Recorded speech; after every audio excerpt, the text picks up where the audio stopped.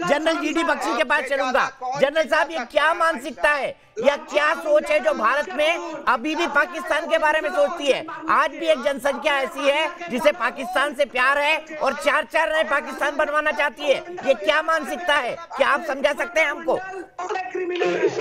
इनकी चिलकों बंद कराएँ तो किसी की किसी की आवाज़ नहीं जाएगी सिर्फ़ general Bakshi. Thank you thank you देखिए साहब मैं शेख आलम को याद दिलाना चाहता हूँ।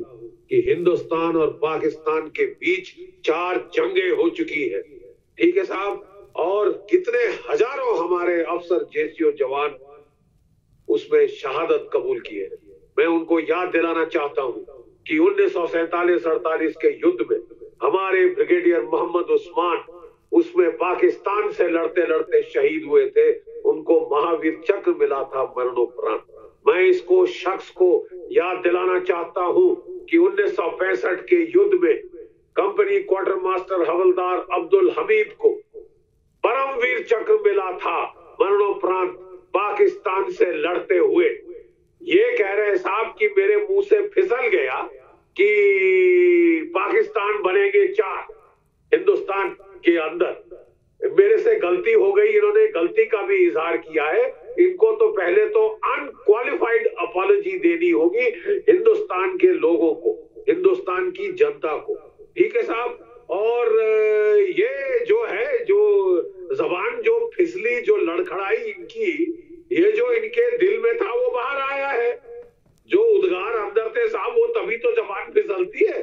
असलियत तभी तो बाहर निकली है। इनको तो अनक्वालिफाइड अपॉलोजी देनी होगी, क्योंकि ये देश के दुश्मनों के साथ अपने आप को जोड़ रहे हैं। देश को बात कर रहे हैं और देश के लोगों के बीच में मन मुटाव वैमनस्य पैदा करने की बात कर रहे हैं। दिस इज़ नॉट एक्सेप्टेबल और अगर तृणमूल कांग्रेस का ये अपने आप को कहते हैं, Trinamool Congress must publicly throw them out such elements you cannot do this kind of a thing आप इस तरह का प्रचार नहीं कर सकते साहब। हमारी फ्रीडम ऑफ़ स्पीच का आप ये मिस यूज़ नहीं कर सकते कि आप दहाड़ दहाड़ के, ये स्लिप ऑफ़ टंग नहीं है। जरा देखिए किस तरह दहाड़ दहाड़ के बोल रहा है ये। ये शख्स किस तरह दहाड़ के बोल रहा है? मैं इसको याद दिलाना चाहूँगा।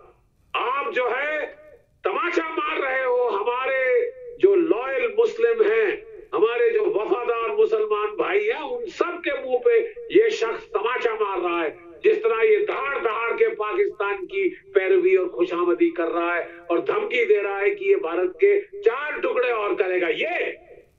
फिर अभी आके यहाँ सॉरी बोल रहा है। सॉरी तुमको बोलना पड़ेगा। क्योंकि तुम्हारा जो बयान है, भड़काऊ है, तुम्हारा बयान जहरीला है, तुम्हारा बयान गैर कानूनी है। It amounts to waging war against the इनको अपने अल्फाज ना केवल वापस लेने होंगे ही must on this program give an unqualified apology firstly to all the patriotic Indian Muslim सारे जो देश देशभक्त हमारे जनरल साहब क्यों ना ऐसे लोगों पर राष्ट्रद्रोह का मुकदमा चले? क्यों ना ऐसे लोगों पर राष्ट्रद्रोह का मुकदमा चले? चलना पड़ेगा बिकॉज़ जिस तरह ये दहाड़ रहा था अभी ये भीगी बिल्ली बन रहा है क्योंकि पकड़े गए क्योंकि एक बार एक अनक्वालिफाइड अपॉलोजी आ गई है